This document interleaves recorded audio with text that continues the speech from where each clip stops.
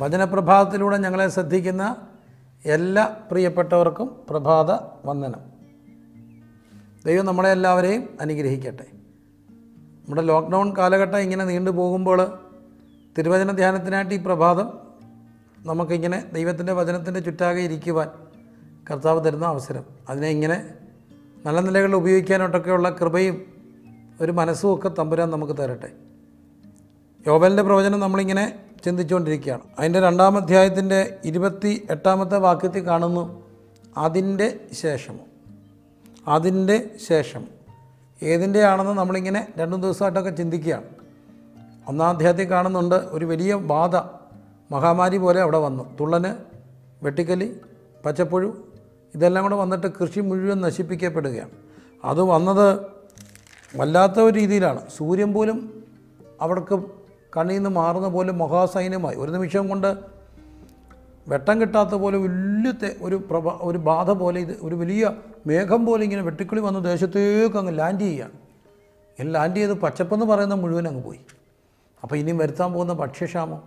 അതുകൊണ്ടാണ് പ്രവാചകൻ പറയുന്നത് നമ്മുടെ കണ്ണിന്റെ മുമ്പിൽ നിന്ന് ആഹാരമൊക്കെ ഇങ്ങനെ പോയി. തമ്പുരാനെ എന്ത് ചെയ്യും? മൃഗങ്ങൾ വരെ ഇങ്ങനെ വല്ലാതെ ഞരങ്ങുന്നെന്ന് ഒന്നിന്റെ പതിനെട്ടിൽ കാണുന്നു. ഏതാണ്ടൊക്കെ സമാനമാണ്. ഇന്ന് ഈ നമുക്കൊത്തിരി തെരുവ് നായ്ക്കളുണ്ട്. ഇതുങ്ങളൊക്കെ എങ്ങനെയാണ് ജീവിച്ചേ? നമുക്കൊത്തിരി ഹോട്ടലുകൾ തട്ടുകട നൈറ്റ് കട. ഇവിടെ നിന്നൊക്കെ പോകുന്ന വേസ്റ്റും നമ്മൾ കണ്ടിട്ടുണ്ട് ഹോട്ടലിന്റെ പിന്നാമ്പുറങ്ങളൊക്കെ ഈ നായ്ക്കളൊക്കെ ഇങ്ങനെ കടിപിടി കൂട്ടും അപ്പോൾ ഇന്നിപ്പോൾ നായ്ക്കളൊക്കെ വല്ലാതെ വിഷമിക്കുകയെന്ന് അപ്പോൾ അതുകൊണ്ടൊക്കെ തന്നെ അതിനൊക്കെ വേണ്ടി സംവിധാനങ്ങളൊക്കെ നമ്മളൊക്കെ ചെയ്യുമ്പോൾ പോലും ഞര മൃഗങ്ങളെ പോലും ഞരങ്ങുന്ന ഒരു കാലഘട്ടം. അപ്പോൾ ഈ കാലഘട്ടത്തിലേക്കൊക്കെ വരുമ്പോൾ എന്താ ചെയ്യുക പ്രവാചകൻ പറയുന്നു എല്ലാവരും കൂടെ കൂടി പുരോഹിതന്മാരും എല്ലാവരും വന്നിട്ട് ഇങ്ങനെ ക്ഷമിക്കണമേ എന്ന് പ്രാർത്ഥിക്കണം. അത് നമ്മളിങ്ങനെ ധ്യാനിച്ചുകൊണ്ടിരിക്കുകയാണ്. അങ്ങനെ ക്ഷമി ധ്യാനിച്ചാൽ അങ്ങനെ ചെയ്താലോ? ദൈവം പറയുന്നു ഞാൻ നിങ്ങൾക്ക് ഇതെല്ലാം മടക്കി തരും. തുള്ളനും വെട്ടുക്കളിയും ഒക്കെ തിന്ന് നശിപ്പിച്ചതെല്ലാം തിരികെ തരും. തിരികെ തരിക മാത്രമാണോ കർത്താവ് ചെയ്യുന്നത്? അല്ല ഇരുപത്തെട്ടാമത്തെ വാക്യത്തിൽ അതിന്റെ ശേഷം ഇത് കഴിഞ്ഞിട്ട്. ഇയോവന്റെ പുസ്തകത്തിലും സമാനമായൊരു വാക്ക് നമ്മൾ കാണുന്നുണ്ട്. ഇയോവനെല്ലാം ഇങ്ങനെ നോക്കി നിൽക്കാൻ നഷ്ടപ്പെട്ടു പോകുന്നുണ്ട്. പക്ഷേ ഇയോബിന്റെ പുസ്തകം അവസാനിക്കുമ്പം ഒരു വാക്ക് കാണുന്നത് വളരെ രസകരമായിട്ടും ചിന്തനീയമായിട്ടൊരു വാക്കാണ്. അതിന്റെ നാൽപ്പത്തി രണ്ടിന്റെ പതിനാറ്. ആഫ്റ്റർ ദിസ് അതിന്റെ ശേഷം. ഇയോ അപ്പോൾ ഇതിനെല്ലാം ശേഷം ഒരു കാര്യം നടക്കും. ഇവിടെയും പറയുന്നു അതിന്റെ ശേഷം. ഏതിന്റെ ശേഷം?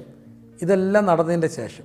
ഈ ബാധയ്ക്കും ഇതിന്റെ ഇടയ്ക്ക് ഒരു കാര്യം നടക്കണം. അതെന്താ? ഒരു മടങ്ങി വരും. ആ മടങ്ങി വരം എന്താ? ദൈവമേ ക്ഷമിക്കണമേ. വെറുതെ പ്രാർത്ഥനയല്ല. എന്താണ് ഞാൻ ക്ഷമ ചോദിക്കേണ്ടത്? അദ്ദേഹം ചോദിക്കേണ്ടതല്ല ഞാൻ ചോദിക്കേണ്ടത്. ഞാൻ ചോദിക്കേണ്ടതല്ല അദ്ദേഹം ചോദിക്കേണ്ടത്. അപ്പം നമുക്കിങ്ങനെ കണ്ണാടി പോലെ ദൈവത്തിന്റെ വചനത്തിന് മുമ്പാകെ നിന്നിട്ട് എന്താണ് ഞാൻ ചെയ്യേണ്ടതെന്ന് തമ്പുരാനോട് ഏറ്റു പറഞ്ഞു. ദൈവം പറയുന്നു ഞാനതെല്ലാം ക്ഷമിക്കും. എന്നിട്ടോ എല്ലാം മടക്കിത്തരും. പക്ഷേ അതിനും വലിയൊരു മടക്കിത്തരം തരും. മടക്കി ആ, തിരിച്ചു വരവ് തരും. അതെന്താണ്? അതിന് ശേഷം ഞാൻ സകല ജഡത്തിന്റെ മേലും എന്റെ ആത്മാവിനെ പകരും.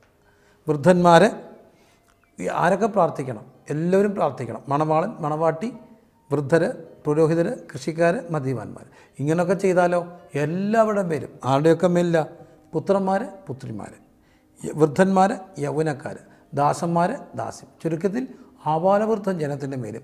കർത്താവ് പറയുന്നു ഞാൻ എന്റെ ആത്മാവിനെ അയക്കും പഴയ നിയമത്തിൽ ഇങ്ങനെ ഒരു പ്രത്യേക ദൗത്യത്തിന് വേണ്ടിയൊക്കെ ആത്മാവിന്റെ പ്രത്യേകമായ അഭിഷേകം കൊടുക്കുമായിരുന്നു.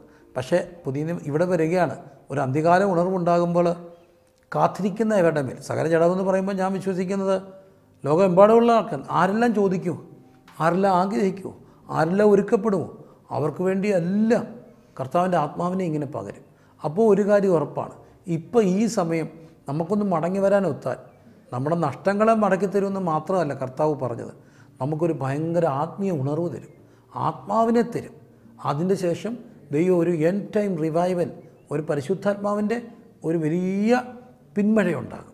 അത് ഞാൻ വിശ്വസിക്കുന്നു. അപ്പം നമുക്കതിനു വേണ്ടി ഒന്നൊരുങ്ങാം അവിടെ ഒരു നമുക്കതിന്റെ ഭാഗമാകണമെങ്കിൽ ഈ സമയത്ത് നമുക്കൊരു ഭയങ്കര മടങ്ങിവരം ഉണ്ടാകും ഒരു പുനഃസ്ഥാപനം റെസ്റ്റോറേഷൻ ഉണ്ടാകും. റെസ്റ്റോറേഷൻ ഉണ്ടായ ഹൺഡ്രഡ് പേഴ്സന്റ് ഉറപ്പ് നമുക്കൊരു റിവൈവൽ ഉണ്ടാകും അതിൽ ആർക്കുണ്ടാവും നമ്മുടെ പുത്രന്മാർ പുത്രിമാർ വൃദ്ധര് ദാസൻ ദാസി യമുനക്കാർ എല്ലാവരും.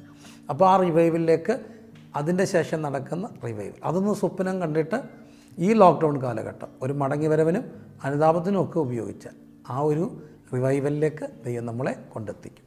അപ്പോൾ ഒന്ന് പ്രാർത്ഥിക്കാം. കർത്താവെ അതിന് ജാതിയില്ല മതമില്ല സഭയില്ല സമുദായമില്ല എല്ലാവരും കൂടെ ഒന്ന് പ്രാർത്ഥിക്കുക. ദൈവമേ ഒന്ന് ക്ഷമിച്ചിട്ട്. അതിനുശേഷം വരാൻ പോകുന്ന ആ റിവൈവൽ എന്റെ കുടുംബത്തെ കൂടെ ഒന്ന് ഓർത്തോണേന്ന് ഒന്ന് പ്രാർത്ഥിച്ച്. അതിനുവേണ്ടി ഒന്ന് ഒരുങ്ങാൻ ഈ പ്രയാസത്തിന്റെ കാലഘട്ടം ഇടയാക്കട്ടെ. അതിന്റെ ശേഷം ഞാൻ എന്റെ ആത്മാവിനെ അതിൽ ഞാൻ അന്യപ്പെടല്ലേ എന്ന് പ്രാർത്ഥിക്കും. ഈ സന്ദേശങ്ങൾ തുടർച്ചയായി നിങ്ങൾക്ക് ലഭിക്കുവാൻ ഞങ്ങളുടെ വാട്സപ്പും ഫേസ്ബുക്കും ഫോളോ ചെയ്യുക